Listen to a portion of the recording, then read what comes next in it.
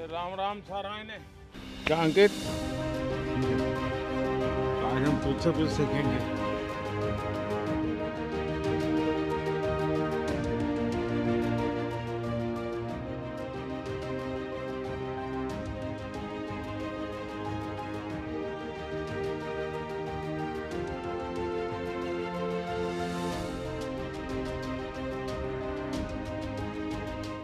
Fitness के लिए आप इतनी मेहनत करते हैं उसमें ये स्वच्छता अभियान कैसे मदद करेगा? वातावरण को स्वस्थ रखना तो हमारा कर्तव्य है।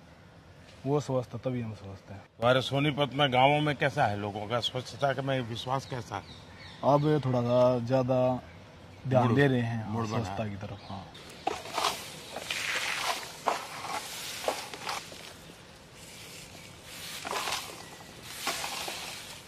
अंकित आप फ़िज़िकल एक्टिविटी के लिए कितना समय देते हैं? और दिन में चार से पाँच घंटे। आपको भी देख के थोड़ा सा मोटिवेट होते हैं कि आप भी इतनी एक्सरसाइज करते हो। मैं ज़्यादा एक्सरसाइज नहीं करता लेकिन रोज़मर्रा की ज़िंदगी के लिए जितना चाहिए।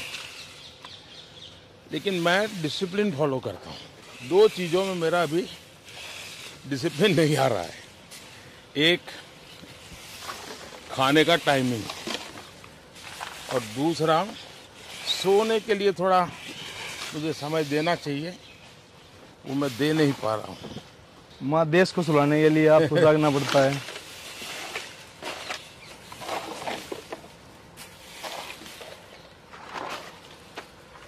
आपने ये जो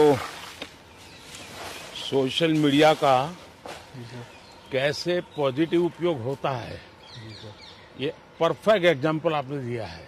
और मैंने देखा है कि आपके कारण काफ़ी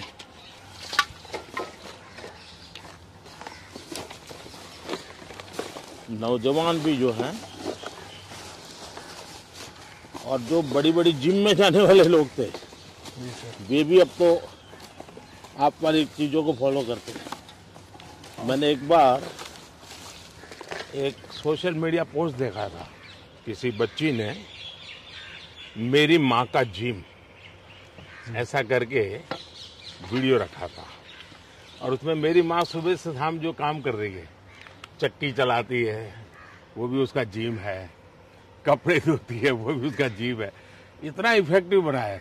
अब आपसे मिलने का सपना था वो पूरा हो गया देख ले लेकर जी ट्वेंटी वाला सम्मेलन देखा हाँ। मतलब वो व्यवस्था देख कर मतलब वो सब इंडिया में होते हुए देख मतलब हर भारतीय ने बहुत गर्व होया इस चीज़ पे कि भाई। आपने देखा होगा हाँ जी। ये जो भारत मंडपम बना है हाँ जी हाँ उसमें भी एक पूरा दीवार जी। हमने योगा का बनाया है। और वहाँ भी क्यूआर कोड लगाया है कि कोई उसको मोबाइल पे ले लेगा तो उसको उस आसन का क्या फ़ायदा होता है कैसे करना है उसका पूरा डिटेल मिल जाता है। और आपने जो स्पोर्ट्स के लिए किया है अगर मैं खुद स्पोर्ट्स पर्सन था। हाँ। इंजरी के मारे थोड़ा सा दूर हूँ स्पोर्ट्स पे। हम्म।